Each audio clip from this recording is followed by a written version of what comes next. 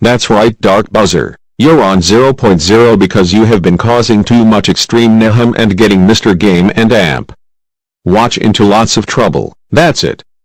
You're grounded forever, because you're my number one least favorite character of all time. I will send you to hell forever and that is it, goodbye forever. Wow.